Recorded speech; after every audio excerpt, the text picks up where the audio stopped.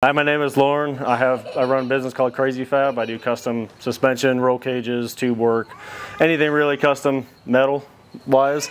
Today we have Dark Yota's third gen Tacoma. We're going to tow it for 37s uh, just to, to basically do a little breakdown. Um, first thing I'm going to do is take the battery, remove the negative so we don't arc anything out, any computers, you know, systems or anything like that.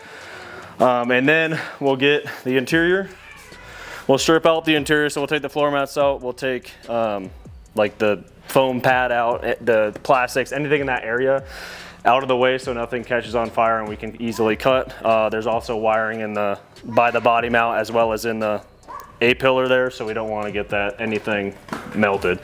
Then we'll have a lot bigger issues. So get all that cleared away and then we'll put some uh, fireproof blanket in there to, to, protect everything before we start cutting.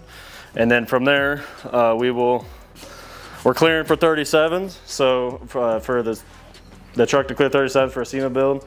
Um, so we're gonna put it back up on the lift once everything's stripped out in the interior and we're gonna mark it out and start cutting and see uh, how much we need to do.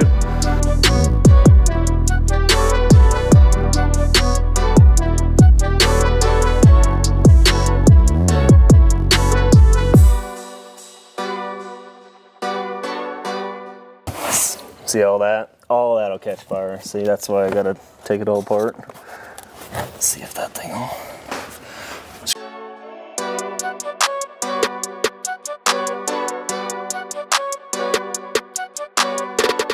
All right, so we pulled up back the carpet, uh, all the foam and the wiring, all the harnesses, and um, there's a bunch of sound deadening that's kind of like a weird uh, carpet type material that's easily flammable. So what we did is we pulled all that out, we got it down to bare metal, and then we shoved a fire blanket in there. Uh, that way we can cut to tub for the, the 37s and not have to worry about fires.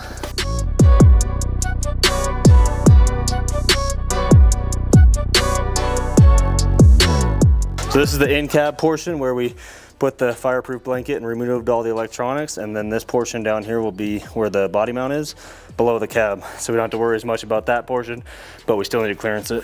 There's a whole bunch of different layers under here so I don't want to just cut into it and you know go too far ruin something and make it hard to fix so basically just taking out in sections so I can see what's going on underneath before I make the clearancing all right so this is where the area where it was hitting the most with the 35 we don't have a 37 so ideally you'd put the 37 on and you'd measure your clearance with the tire. But took an inch and a half out, which should be plenty um, on this area. And then all of this just kind of smoothed it up to, to flow it and make it look a little bit cleaner. Um, so now basically we'll make a new panel, clean all the sound deadening off so that we can get it ready for welding.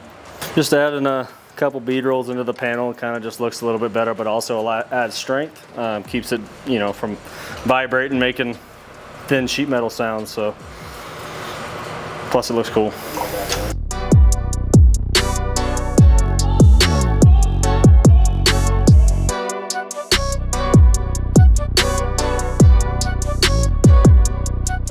So basically I'm still final fitting it. I'll slowly tack around and get it all fitted where I want it and then I will go through and stitch weld it um, to get it all permanent and then we'll seam seal it and weld a little bit on the inside back to the floor and then shoot some paint.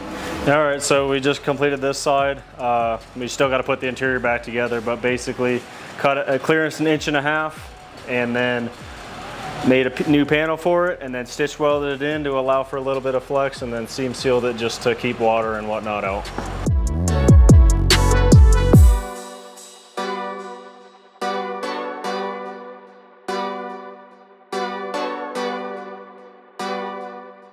Uh, so now that it's all welded, painted, and uh, sealed up, we're gonna put the interior back together. Pretty simple, just uh, the, the, carpet back in, plastics, footrest, and the floor mat, and then ready to go.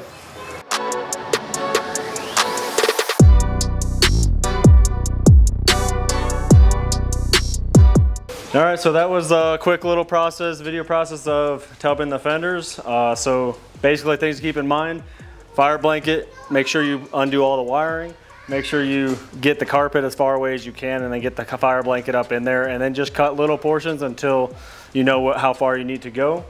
Um, we did have a little tiny fire. It happens sometimes, but we had water handy, so keep water handy as well. Um, nothing was hurt, so that's good. And now it should be able to clear 37s. So if you guys liked it, uh, please remember to like, comment, subscribe, share, and uh, until next time, thank you.